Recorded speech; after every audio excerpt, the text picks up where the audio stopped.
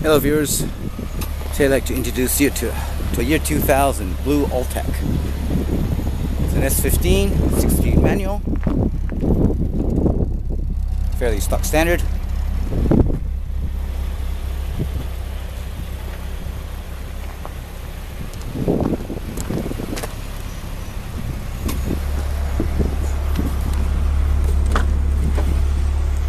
Genuine seats with the uh, red polka dot trims. Comes with a nice Clarion slide-in monitor, navigation system. Don't know whether it works on there. Air conditioning works.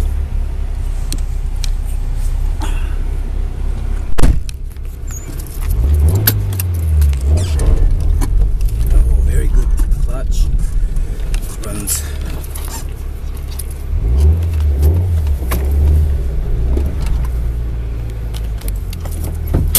Very good.